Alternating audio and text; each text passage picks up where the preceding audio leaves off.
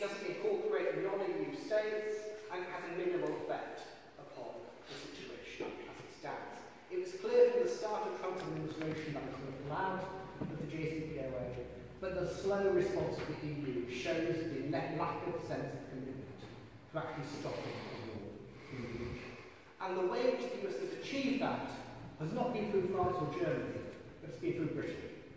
And that's where the UK role becomes particularly important.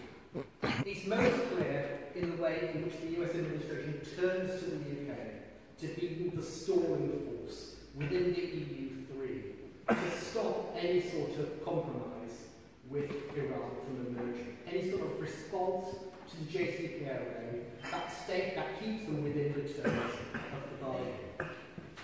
And of course, it's most clear in something that mentioned earlier, which is the US-led military um, uh, in the Gulf today. Britain joined it in August, at the start of August, it did it overtly in the name of protecting shipping through the Gulf, but of course the US plan is not just to protect its shipping through the Gulf region, it's also to stop Iran selling its oil on international markets. And so part of the US military uh, Navy's role in the Gulf is to harass Iranian ships. It's to stop them leaving Ports unimpeded. It's to stop them moving out through the straits onto their goods elsewhere. Now, Britain at least says it's not part of that, but as tensions rise, as they will continue to rise in the region, the US has essentially committed its, the UK has committed its navy to help US efforts.